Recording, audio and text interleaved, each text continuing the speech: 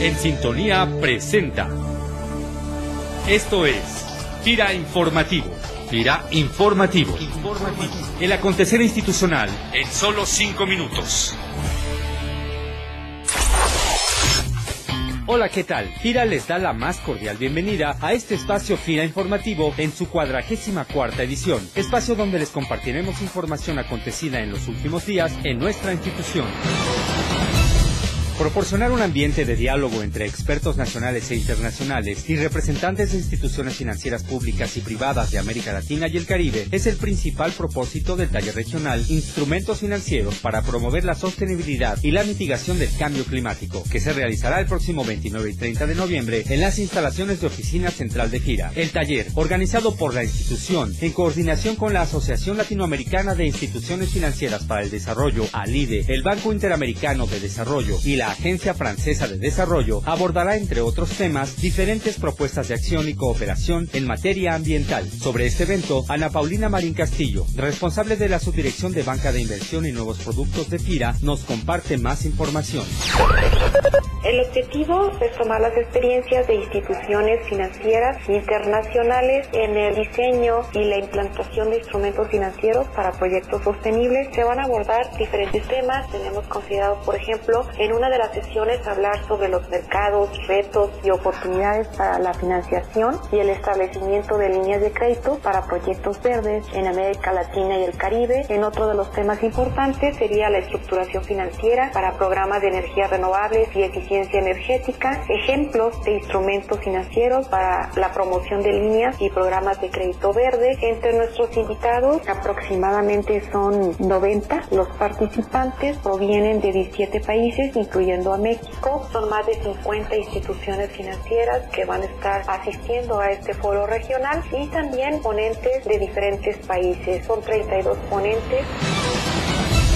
Con la participación de FIRA y en coordinación con el gobierno estatal, la Unión de Productores de Carne del Estado de Sonora, la Asociación Mexicana de Engordadores de Ganado y diversos intermediarios financieros, se puso en marcha en el estado de Sonora el programa de desarrollo de proveedores denominado Creador Engordador, y en cuyo marco de actuación y objetivos se inauguró la planta procesadora de alimentos de Grupo Contreras, empresa que cuenta con una línea de crédito de FIRA y diversos apoyos tecnológicos para impulsar el éxito de este programa. De esta manera, se estima que esta planta procesadora de alimento para ganado fortalezca el desarrollo de la cadena de valor a través de la generación de más de 350 empleos directos, entre otros beneficios. Bioenerfira, impulsando el desarrollo sostenible del sector rural. Desde hace más de 10 años, en la zona del istmo de Tehuantepec, en Oaxaca, se han establecido diversas empresas con la intención de generar energía eólica a través de aerogeneradores. José Alfonso Vega Luna, agente de FIRA en Juchitán, señala que actualmente se tiene instalado el 40% de la superficie con potencial para la disposición de estos aerogeneradores, por lo que actualmente FIRA ha iniciado un proceso para apoyar con financiamiento a largo plazo a las pequeñas constructoras que participarán en este tipo de instalaciones. Para poder instalar un aerogenerador hay que construir la obra civil, que básicamente son los caminos de acceso. Con lo que ahorita se tiene instalado, más o menos alcanzaría para electrificar una ciudad más o menos de un millón de habitantes, lo que significa pues un ahorro enorme en lo que son el consumo de hidrocarburos y es una fuente renovable de energía. El proyecto se tiene que una vez que están instaladas las torres, tiene una vida útil de aproximadamente de 20 a 25 años. Estamos en una zona prácticamente donde se carece de empleos en el medio rural y se está generando empleos ya con la fuera instalación de los parques eólicos. ¿Sabías que la pimienta contiene componentes químicos que generan una sensación de calor e inducen la reducción de calorías y quema de grasa? Integra este condimento en tus comidas y aprende a comer sanamente. Consulta cada semana los maratips de alimentación que recibes a través de tu correo electrónico institucional. Informe sectorial. Información especializada generada por FIRA para la toma de decisiones.